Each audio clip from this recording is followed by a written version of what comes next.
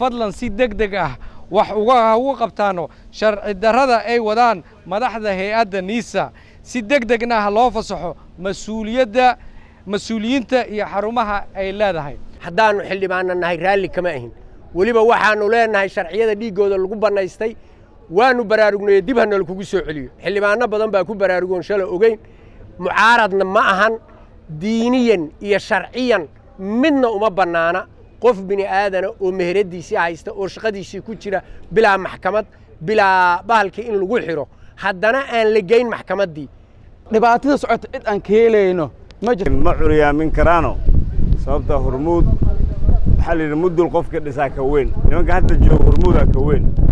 Hormuud hadday caawa adeegyadeeda ee jarto madaxweynaha iyo ra'iisul wasaare xataa ma ismaqlaayaan wax kale iska dhaaf.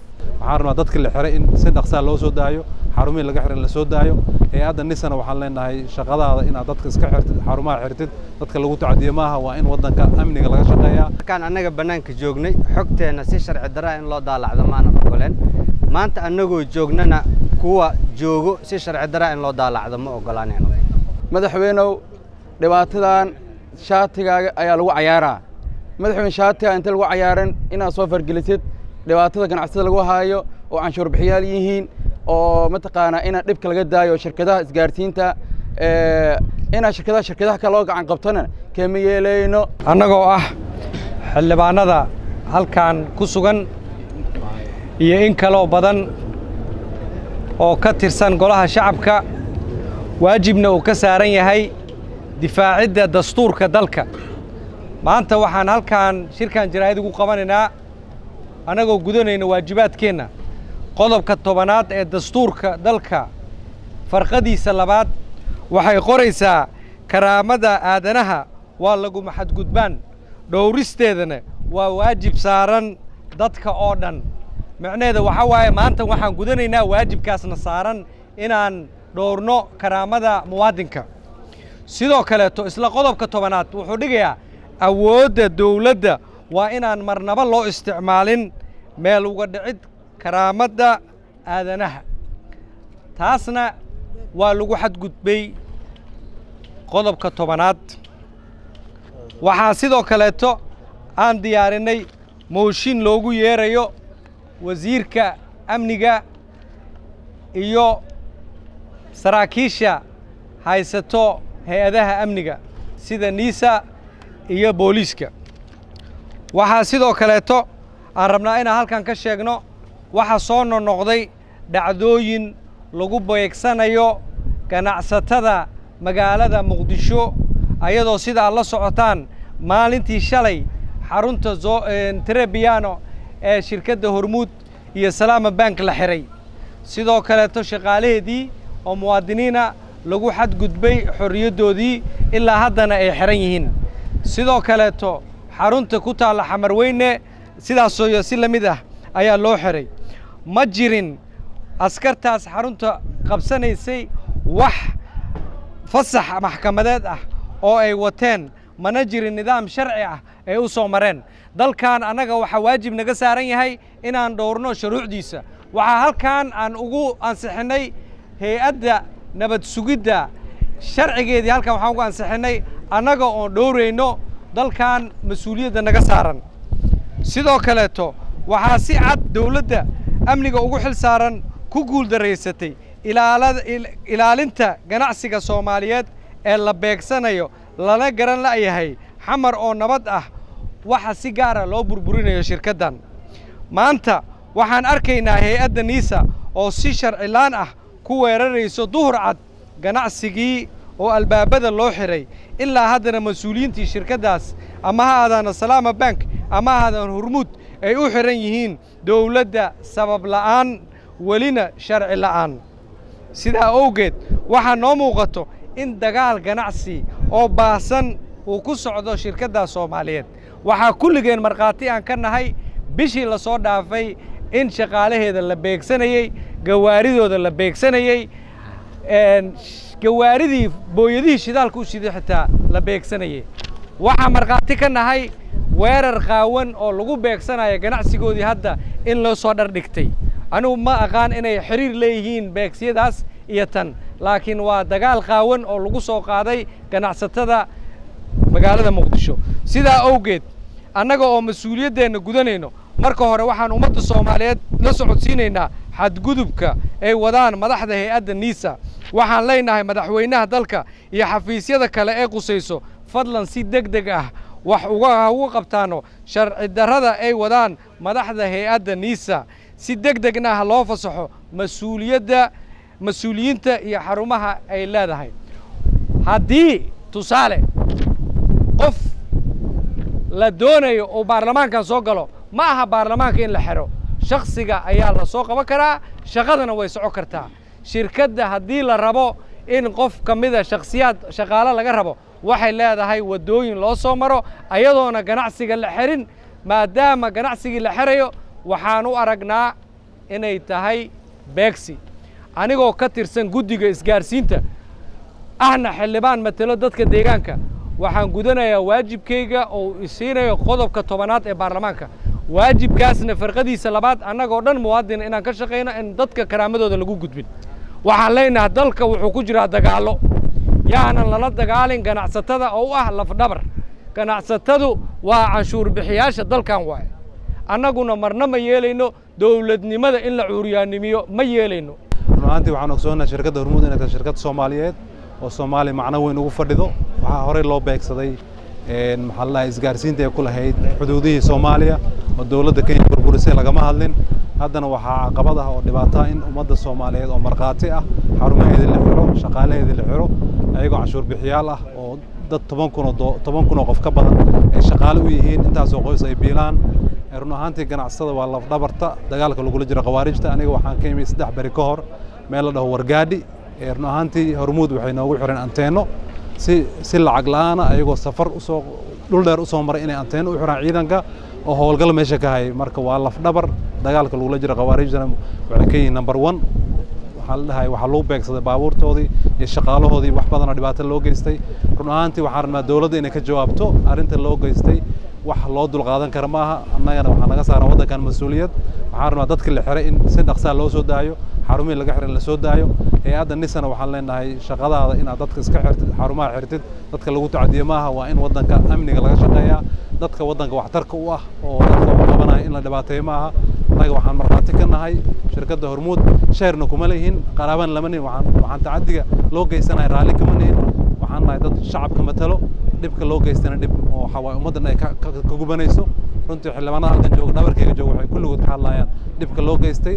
Annaga hormuud waxaa waaye shirkad soomaaliyeed qaraabo iyo ehelnimo lama nihin laakiin waxaa mas'uuliyad naga saaran tahay ummadda soomaaliyeed ee ganacsatada inay badbaadaan oo aan mas'uul ka nahay. Waxaan u malaynayaa markii baarlamaankan looga doodayey gaaraxa waa mucaarad baa lalahaa waa mucaarad sharciyadaas lagu bannaystay dadka dhiiggooda iyo dhaqankooda iyo maalkooda iyo diintooda iyo sharaftoodaba marka koowaad waxaan leeyahay qof walba oo soomaali ah oo dhibka uu saameeyey nimanka la yidhaha nisa iyo hay'adaha amnigu waa inay dhibka ka daayaan. Marka labaad shirkadaha lafdhabarka dalka u ah nolosha dadka haya dhaqaalaha dadka haya shaqada dadka haya beegsigooda. Haddaannu xildhibaanna nahay raalli kama ahin. Weliba waxaannu leenahay sharciyada dhiiggooda lagu bannaystay waannu baraarugnay dib hana lakugu soo celiyo. Xildhibaanno badan baa ku baraarugoon shala ogeyn. Mucaaradna ma ahan diiniyan iyo sharciyan midna uma bannaana qof bini aadana oo meheradiisii haysta oo shaqadiisii ku jira bilaa maxkamad bilaa bahalkii in lagu xidho haddana aan la geyn maxkamaddii wax la aqbali kara maaha. Weliba waxaannu ognahay maantay waxaa la isticmaalaa shirkadaha isgaarsiinta nolosha dadka inay yihiin dhaqaalaha dadka inay yihiin shaqada dadka inay yihiin. Haddii ayaga la waayana la waayayo soomaaliya. Ma aqbalayno mana yeelayno in lagu xadgudbo wixii xaq ah oo lagu helo waa ogollaha laakiin in lagu xadgudbo ma yeelayno shaqaalaha ha la soo daayo ha la furo baraanjiyaashaannu leenahay yaan la beegsan waxaannuna aad iyo aad iyo aad iyo aad uga shaqaynaynaa. Sharciyadii horena in la soo celiyo haddana hay'adda nabad sugidda iyo ciddii kale oo hay'adaha amniga ah qusayso oo ku xadgudbay shirkadaha ama ganacsatada soomaaliya soomaalida ah inaannu mooshin ka kayno si deg degana ugu yeerno. Markaan annaga bannaanka joognay xogteenna si sharci darra in loo daalacdo maanan ogoleen. Maanta annagoo joognana kuwa joogo si sharci darra in loo daalacdo ma ogolaanayno hay'addu waxay xaq u leedahay in maaragtay xeer ilaaliyayaasha iyo hay'adaha garsoorka dalka inay ka soo goosato ruksad qof allaala qofka ee baarayso iyo ciddii ay u baahan tahay inay jidkeeda marto. Xaq u leedahay hay'adda in maaragtay qof kastoo argagixiso lagu tuhmaana inay maaragtay baarto xaqay u leedahay. Laakiin xaq uma lahan in baranjigii la xidho in maaragtay meelihii lagu shaqaynayey la joojiyo dadkii kastamarka ahaa la gebagabeeyo hadda aragtideennu waxay taagan tahay dadka xidhan ha la soo deeyo wixii looga baahan yahayna sifo sharci ah loo maro. Sifo aan sharci ahayn dalku meel xunay gaarsiin kartaa. Marka annagu maanta aragtideenna waxay tahay dadkaas in si sifo sharci ah loo maro hay'adaha garsoorka laga soo qaato caddeemo caddaynaya in qofkan la baaro. Hore waa loo baari jiray. Maxaa keena maanta in la yidhaahdo baarisaa la diiday? Maalinta sharciyada aan soo saarnay ilaa maanta baarisaa socoto ku dhowaad kun qof oo muwaadiniin ah yaa waxaa la baaray xogtooda. Kuwana waxaa lagu helay inay argagixiso yihiin. Kuwana waxaa lagu helay inaysan argagixiso ahayn kuwa aan argagixisada ahayn waa la fasaxay. Kuwa argagixisadaa waa la xukumay. Shaqadu sideeda ha u socoto. Ma ahan docka faruur in lagu sameeyo shaqooyinka. Aragtideenna waa ku celinaa aragti macaaradna maahan aragti kuxmeenna maahan waa aragti toosin ah waaye. Waxaan toosinaynaa hay'adaha amniga. Waxaan ugu baaqaynaa sida ugu dhaqsiyaha badan la dadka ay haayaanna inay soo deeyaan. Waxa ay u baahan yihiin safo sharciga u maraan. Anoo ah xogayaha guddiga isgaarsiinta iyo warfaafinta intaba waan adkeenaa waan adkeenaa. Mar kale iyo mar kale sifo aan sharci ahayn dalka haddii loo isticmaalo meel xunuu gaaraa ee sifo sharci ah loo isticmaalo. Dhibaatada socota horta cid cid walba ay og tahay indhahaas kama kama degno. Waxaan ka rabnaa marka insha allah hay'adda nisa. Hay'adda nisa shaqada ay wado shaqa lagu qanacsiyahan ma ahan dhibaatada ee dadka baagsinayso dhib aad u weyn waaye. Hay'adda nisa waxaan uga digaynaa dhibaatada ay wado hadday jooji weyso baarlamaankana iska arkayaan hay'adaha amniga. Maxkamadaa jirto? Si dastuuriya maxkamadda inaan qofka inuu soo maro sharci inuu soo maro. Qofka haddii la waa la karo qofka maxaa la lama dhihi karo. Waa inaan si sharciya maxkamad loo soo maraa. Bangi lama xiri karo isgaarsiin lama xiri karo. Dalkan nidaamaa jiro. Nidaam dastuuriya nidaamka qofka ka goxa gudbo asi wuxuu kaloo rabo samey karaa. Marka waxaan ka rabaa marka hay'adda nisa dadku u xiran inay si degdeg u dayaan meelo ay xiran yihiin ina inay furaan. Bilaa shuruud madaxweynaha jamhuuriyadda federaalka soomaaliya meeshan ugu digaa nitrkiis madaxweyne shatigaaga ayaa lagu cayaaraa. Madaxweyne qaranaa tahay waa ku taageersanahay mucaarad mani anika laakiin xanti soomaaliyeed lagu xadgudbaayay. Ma fiirsi karno. Madaxweynow dhibaatadan shaatigaaga ayaa lagu cayaaraa. Madaxweyne shaatigaa inta lagu cayaaran inaad soo fargelisid dhibaatada ganacsada lagu haayo oo canshuur bixiyaal yihiin oo mataqaanaa inaa dhibka laga daayo shirkadaha isgaarsiinta inaa shirkadaha shirkadaha kale loo gacan qabtona kama yeelayno meeshan siyaasadaha ku jirto. Siyaasad maha salaad meeshan ka wadana ma kama shaqaynayso wixii daraad asi u qaylinaya oo waddooyin u taaganaa ayaa hadda haysato. Marka asi maadaama shaati oo gashtay inuu shaati islaameed ku cayaaro cid ka yeelaysa ma lahan dalkan dalka cid isbaad karta ma jirto. Soomaali kulli waa haweysan yihiin. Maha salaad isaan ku sii socdo nin wal qorigiisa u soo qaadanaa cid laga baqaayo ma lahan. Dalkan dawladaa ka jirto si nidaamka dawladnimo a u dhaqanno mala diiday. Qof walbo qorigiisa soo qaadanaa shabaabaa la iska dhicinaynin etoobiya la iska dhici karin. Mahdaa iska dhicinaynaa? Wax kale ma jirto. Etoobiya maxaa iska dhicinayna anigaa isku soo laabanay ma dad ay isku soo laabtay ganacsatada ka bixinayo hadda leela dagaalay si ay canshuur ku bixi karaan ganacsatada ganacsatada waa la dhibaataynaa aniga mucaarada mayna madaxweynehu u sheegnay. Madaxweynehu arrinkan si degdeg u soo fargeli. Hormuud dhibaato lagu haayo muddo laba bilood ka badan way socotay. Afar iyo toban baawraa laga qarxiyey. Shan qofooda laga dilay. Toban qof aa laga dhaawacay. Dawlad ka hadasha maan arkin. Wasiir kama hadlin. Dawladda kama hadlin. Cid ka hadasha ma wala wasiir wasaare kama hadlin. Waxaan ka rabnaa madaxweynuhu soo fargeli arrinkan. Arrinkan ta meel xun tegin. Arrinkan ina meel xunta tegin halaga soo ha ka soo gara madaxweynaha. Madaxweynuhu marsha allah waxaan samaynaa arrinkan waa ku sii jiri doonaa.